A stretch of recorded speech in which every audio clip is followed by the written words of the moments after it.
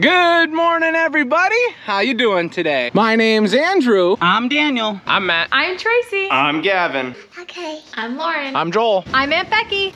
I'm Grandpa. And we're some of the Veggie Boys. And we'd like to thank you for stopping by. If you're new here, please consider subscribing because we can grow a lot of things on the farm, but one thing we can't do is grow this channel without your help.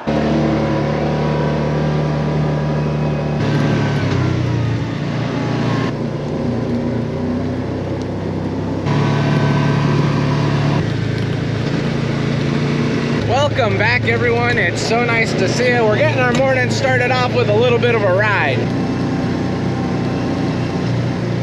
Unfortunately on the news we heard that we are going to be covered in a big cloud of smoke again and it looks like it's here this morning. So before I got my chores done this morning I got up a little earlier and I went for a little ride. Now last time we were dealing with smoke it lasted for a lot longer than they thought it was going to last. They are expecting it to be gone by the end of today into tomorrow. So we'll just have to see how it looks later on. For example, over that way, I can just barely see the outline of the mountain. And I thought it was fog when I woke up, but then I checked my phone and it said unhealthy for sensitive groups. So, you know, it's not good. Although I'd love to drive around a little bit more and look at what we've got going on here, I gotta get back to the farm market and get to work.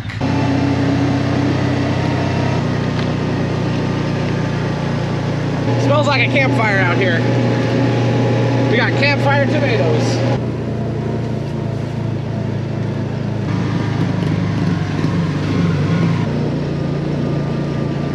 And I didn't walk around too much, but I better visit the foot bath. Looks like Matthew beat me down here. He has got started on vacuuming, and I'm gonna get started on cleaning off these shelves and then pulling everything out. The girls are finishing up on some cleaning and filling up in here, but we do have the farm market all set up. A lot of the people in the local area have got the word that we have fresh vegetables, so we've been selling out of stuff relatively quickly.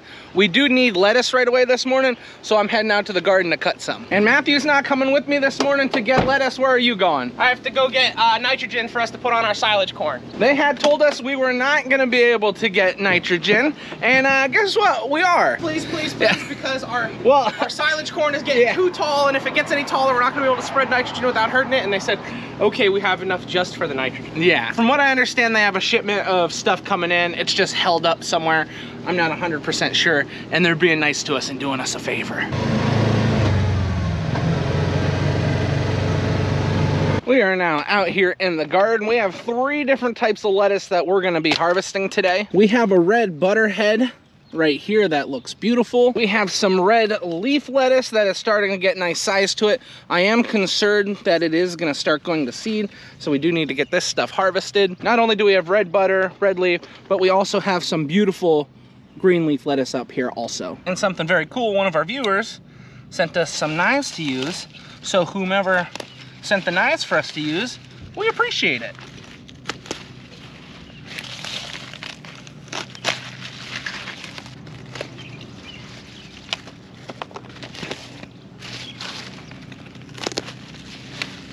I don't think I brought enough carriers today. But look at this. Let's see if we can get this whole thing cut down here. It's like a small tree. Look at that thing. Wow. It's not every day that you get to harvest lettuce trees, right? I mean, this isn't a stem, that's a trunk. Gorgeous. I might just set that in the side-by-side. -side. I can't even fit that in the basket.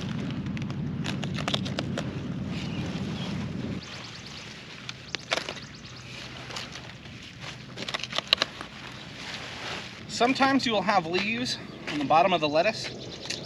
That doesn't look too nice from sitting on the ground. Just gotta peel them off and then you're good to go.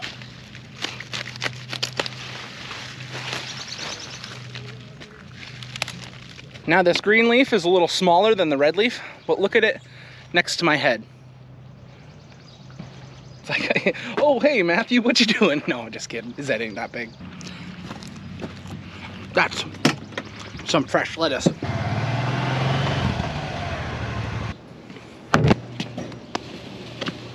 Now when it comes to this lettuce, we are not washing it for ready to eat. Uh, if you get this lettuce, you should wash it at home. My suggestion. Uh, you should wash anything you ever purchase. Uh, however, uh, I'm putting this in the bin right now to just give it a good soak. There's two reasons why I'm doing this. Number one thing, we're trying to make them look a lot nicer. The second thing that we're trying to do here is crisp up the lettuce. It stores a little easier if we give it a good rinse of water. And then once we're done with it, we'll move it right into the cooler and then it can crisp up. Uh, and that stuff just flies off the shelves then. Be very gentle. Be very gentle.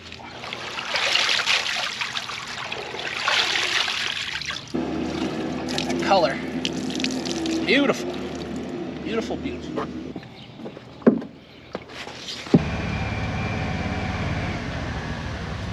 Hello, good morning. Andrew, how are you? I'm doing well. How are you guys doing? Alrighty. Good, good. Welcome back. Thank you. Good morning. How are you guys? Good. This is all green leaf lettuce that went to seed. We're not keeping it. But I have another plan for it.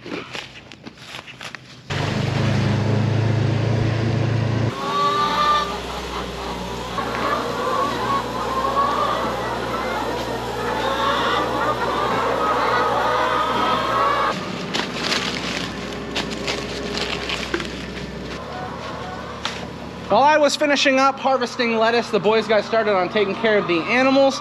All the cattle and calves have now been fed and they're working on the chickens. We're now all finished with taking care of the animals. We're just waiting for one more person to come out and then we're gonna head back and get harvesting. Andrew, how comes the side by sides leading to the left? Probably because you and I are sitting on the left side and there's no lefty in here to keep it evened out. I was worried.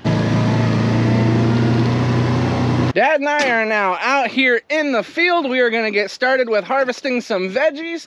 And the first thing on the list is kohlrabi. What kind of kohlrabi are you raising now? It doesn't want to come out of the ground.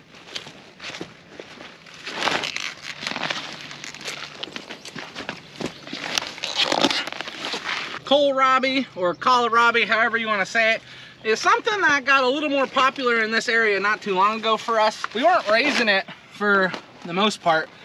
Then we decided to start raising it and well, customers love it. Got a really nice flavor. If you've never had kohlrabi, kohlrabi, uh, get some. Try it out. Cause it is good. Come on, come on the ground. The best way I can describe it to you is it's kind of like a broccoli stem, the flesh of this stuff. And it's got, I'd say like a little zing, a little spice to it, but it's not like a spice. It's just, it's interesting. Try it out. It's yummy.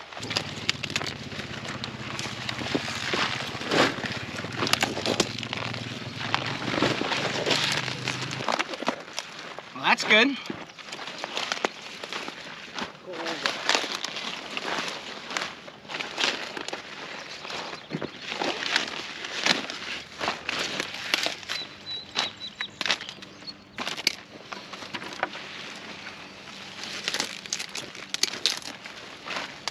We're all done with pulling the kohlrabi out of the ground and they're finishing off the harvest by pulling the leaves off. While we were doing that, Daniel was walking through the cauliflower. He was able to find some smaller heads. I don't think they're gonna get any bigger than this, but they look pretty good.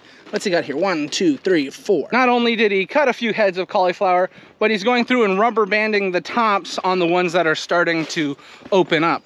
Uh, if we don't rubber band the tops, the cauliflower turns yellow from the sun. So Daniel is all the way out there. He's walking through the cauliflower.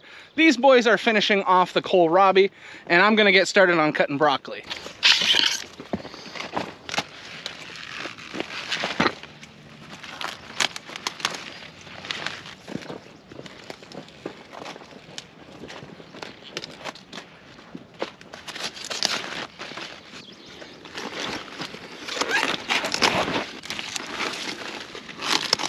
I'm gonna have a big old pile of broccoli here for you, Joel. I'm working on it. Just letting you know. All right, thank you. There is some nice stuff here.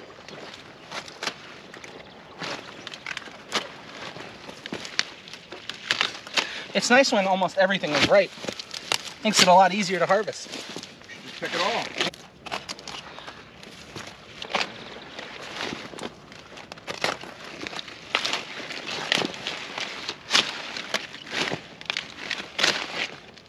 We raise a few different varieties of broccoli.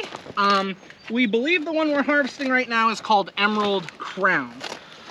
The heads don't get too large, but it is an early broccoli, so that's okay. I mean, the heads don't get too large, but even so, some of these heads pretty gorgeous. Dad said he wanted four baskets. We'll easily be able to get that.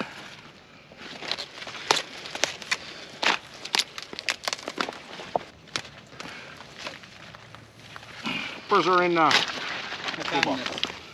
Joe, I need a basket. How's two? No, no, just one. If you bring two, we're gonna fill two. All right, I'm bringing two. Oh my goodness, Joel's making us pick more. I'll stay in these broccoli fields as long as we're not in a pea field. You better not be peeing in the field.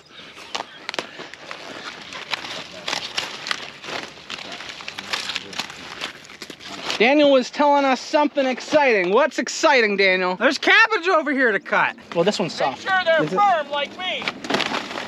I don't want a soft one like Andrew. Now with early cabbage, we have to check and make sure that the cabbage is ready to harvest. The way we do that is we take our hand and we put it on top of the cabbage. And if the cabbage is firm, then it's ready to harvest. So what we do, we push down on the sides, make sure our fingers are away from the stem, and we slice along the bottom. And that's how we harvest our cabbage.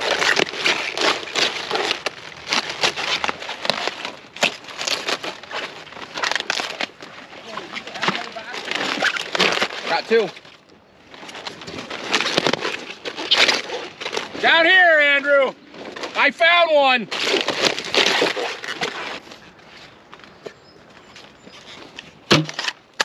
Well, let's see what we were able to harvest here. We got one, two, three baskets of kohlrabi.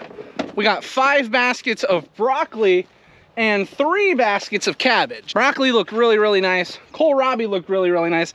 I actually think we're soon gonna be picking off the entire kohlrabi harvest. And the cabbage, even though it is young and probably could use one more week, we were able to find some heads that were ready to go. Make sure the cabbage children are safe, Joel. You wanna know something that's crazy? Uh, I thought the smoke was gonna be going away throughout the day, but it looks like it's getting worse over there.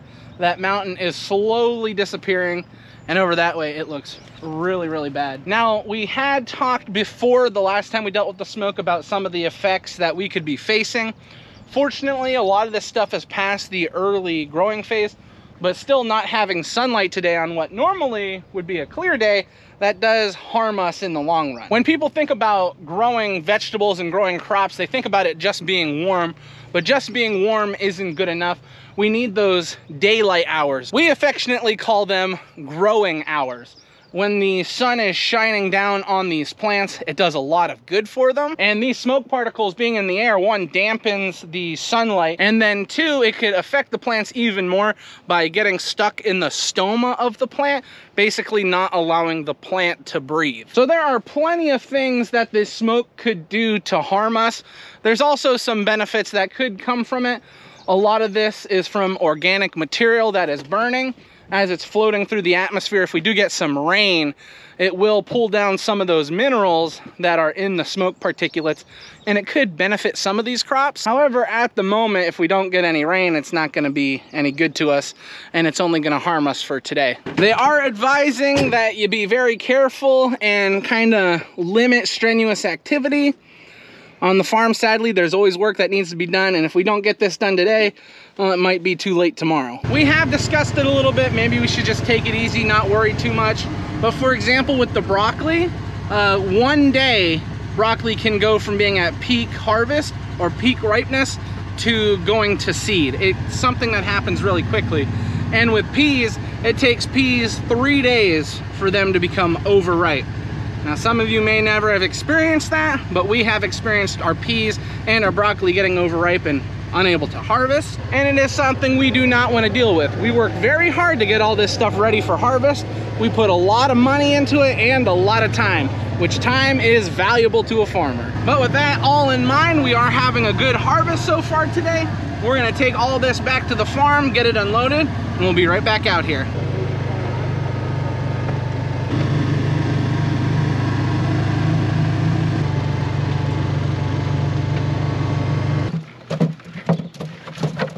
Gotta stir them up, you know.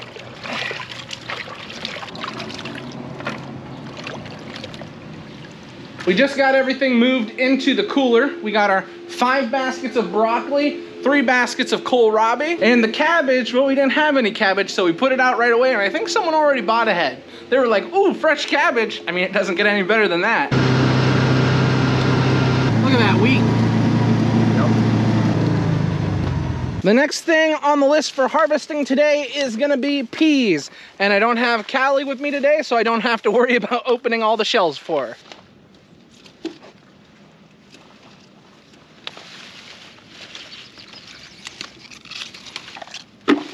The peas here are still a little bit on the young side.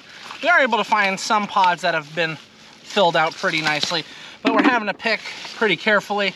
We will come back through and harvest probably at the start of next week. I think by that time the peas will be pretty much all grown together. The only issue is there was some larger stuff in here. And if we would have let it go, well, it would have been overripe by the time we come back through again.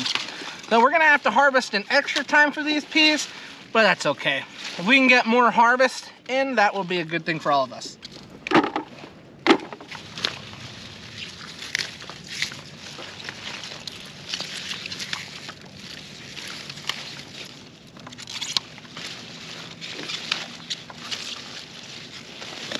This is where we're gonna be stopping for now. We got one, two, three, four, five baskets of peas, and now our morning is over. Not bad for 20 minutes. You know, this is my first time harvesting smoked peas before, but that's pretty crazy. Let's see how they taste. Smoked peas taste pretty good. It doesn't look like it's getting any worse, but it also doesn't look like it's getting any better. I mean, if the wind blows this way a little harder, we'll be hit by that stuff over there. That looks bad.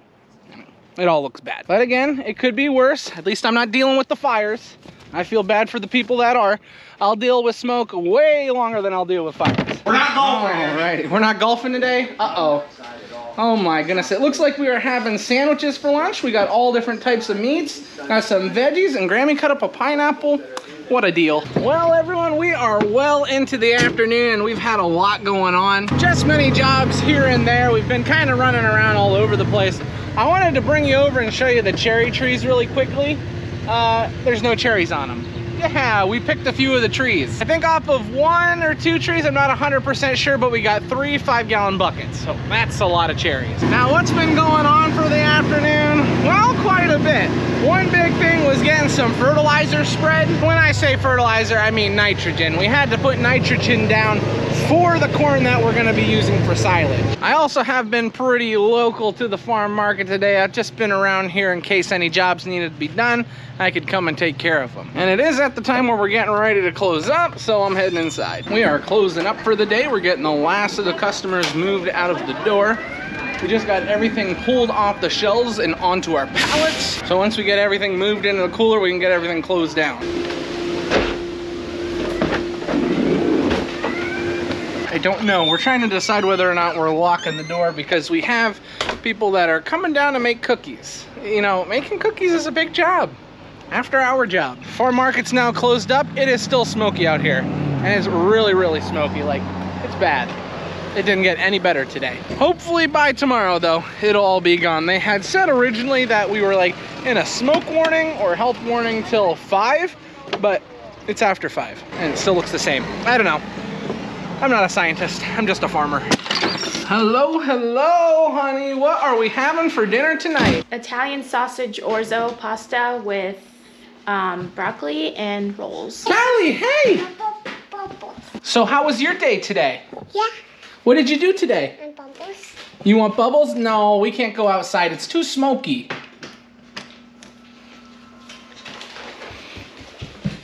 Well, we are now getting all ready to eat dinner. Everybody has sat down at the table. There's what Lauren made. Doesn't that look good? Ooh, yeah, it looks good. We do have some extra people with us here tonight. Lauren's dad, right there. Lauren's dad and her mom are with us. How exciting is that? And since everybody's at the dinner table, that means this is where we're gonna end the video today. I would like to thank everyone for watching and I hope to see you next time. Bye-bye. Bye bye.